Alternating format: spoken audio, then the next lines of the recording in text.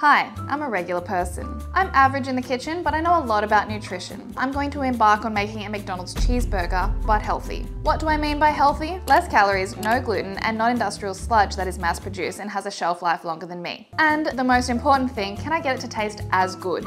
Also, at the end of the video, I'm gonna get my husband to do a blind taste test, to which he is brutally honest. Let's do it.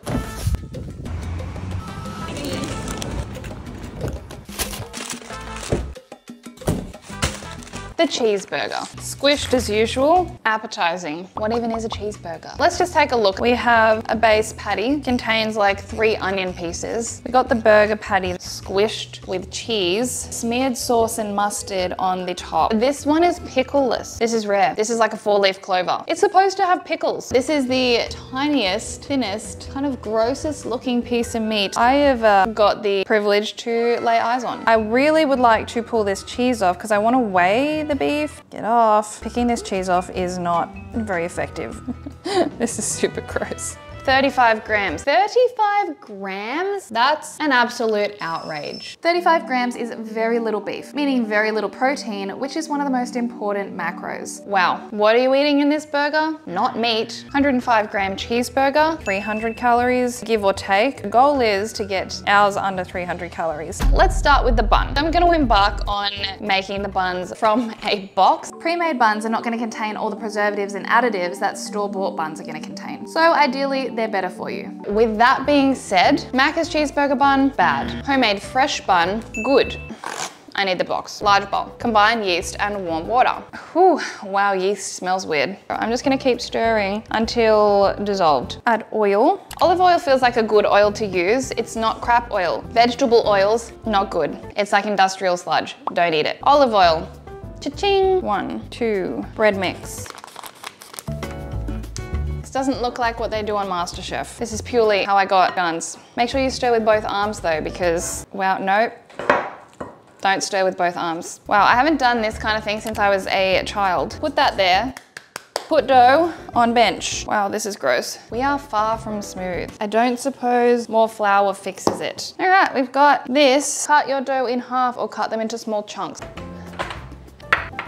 little dough balls. Should they be wrinkly? Place them onto a lined tray. Cover with a tea towel then we'll be back to uh, continue the buns. The buns are gluten-free because I am gluten-free. If you were to use gluten-containing buns, homemade is always gonna be better. If you do choose to use store-bought buns, I'd recommend checking for sugar content and number of ingredients. 50 minutes later. They're quite small. Brush them with oil. I am a chef. I can do this. These are gonna turn out better than I anticipate, even though they look like tiny little rocks with butt cracks.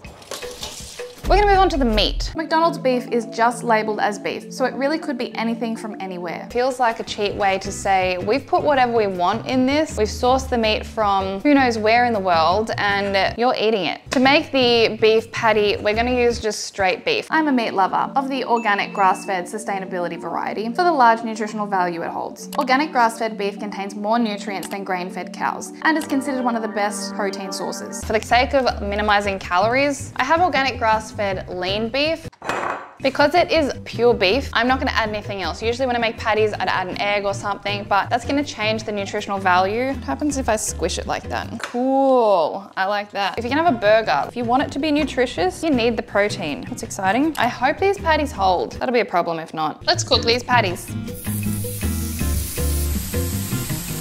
patties. This is problematic. These are micro buns. In hindsight, bigger ones, that would have been a great idea, but no cute. It actually, it smells good. I was so close, but it's so small. When in doubt, I have something else. Unfortunately, due to the homemade bun sizing issue, I've decided to downgrade to store-bought buns, which are also gluten-free and do contain some preservatives. However, I do believe they are still better than McDonald's bun, which contains a lot more sugar, calories, and preservatives in comparison. These actually look like burger buns. Look, gluten-free looks a little bit sad, but what can you do? Now I need to toast these rolls onion cutting time. Um, I, to be honest, dislike onion. What I really dislike is cutting it because it always makes me cry. And I just really hate crying. And then it makes your hands smell funny forever. My goal here is to not cry. Tight, tiny pieces. I need like face goggles. Really light toasting of onion, which I would hope is the same as McDonald's, unless they don't use locally grown produce, which is very likely. Ow, ow, ow. I got distracted and burnt my buns. I've got a plethora of buns here. Burger assembly, burger bun, onion, patty, cheese, melt the cheese. Too much cheesy melt. Pickles, too tight pickles. That's a nope from me. Why do I work out?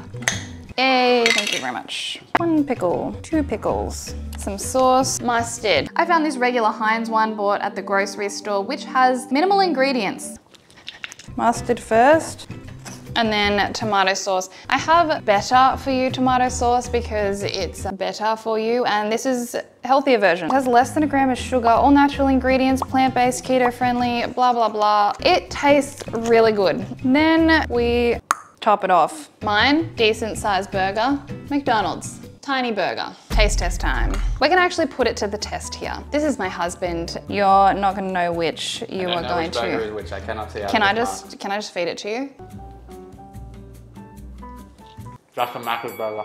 You're not supposed to guess. I can just go. It just feels like sugary toy bread. This tastes like a toy from my childhood. This is not real. There's nothing real about it. Right. You just don't know which they are. I could be wrong. Open wide.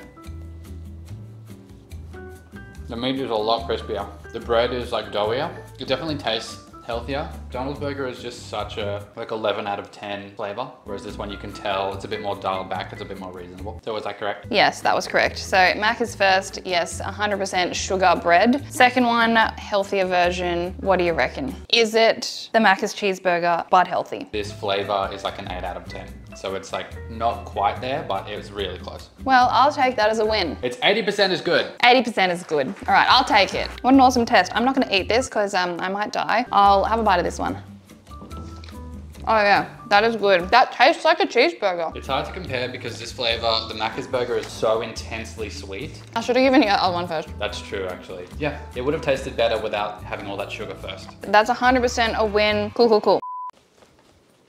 The results. Let's look at the numbers. Here we have the nutritional information of the McDonald's burger versus mine. My burger is bigger, but when normalized for weight, it has 42% less calories than the McDonald's cheeseburger. That is almost half the calories. Size for size, my burger has more protein, less carbohydrates, less sugar, less fats, no trans fats, less preservatives, and more nutrients, and tastes 80% as good. Or in my opinion, 100% as good, if not better. Which would you choose? In conclusion, we made a healthier cheeseburger. It was easier to make than I had originally thought. Save yourself some calories and chemicals and make it at home. Fast food bad, slow food good. If you like this video, subscribe. Also, go check out this video on the screen right now. It was really challenging, but a lot of fun. So click the link right here and go watch it now.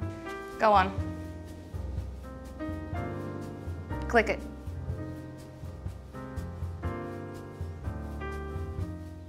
Wait, this isn't, this isn't a photo?